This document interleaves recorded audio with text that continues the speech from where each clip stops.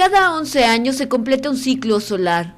Durante los años 2012 y 2013, que representan el punto máximo del ciclo actual, el astro mayor incrementará su actividad y esto incidirá directamente en el clima de la Tierra.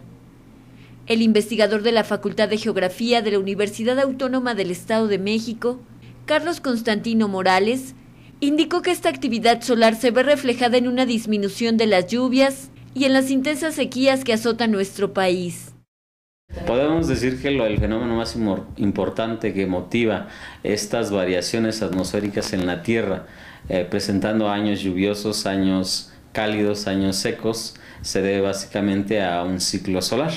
Sí, generalmente este ciclo solar está muy fuerte, es uno de los más elevados de los últimos años y por tanto podemos ver todas estas anomalías a nivel nacional y a nivel internacional. La temporada de lluvia se ha retrasado Generalmente inicia durante la segunda quincena de mayo, pero en el Estado de México las precipitaciones han sido muy escasas.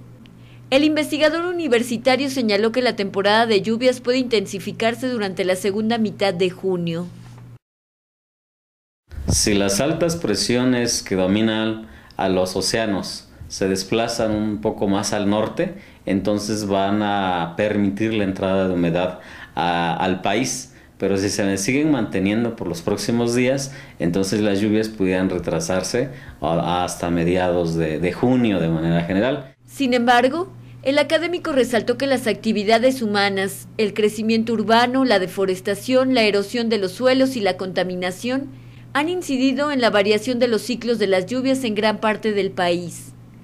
Por ello, es necesario tomar medidas para evitar afectaciones al medio ambiente. Ginarelli Valencia, Noticieros Televisa.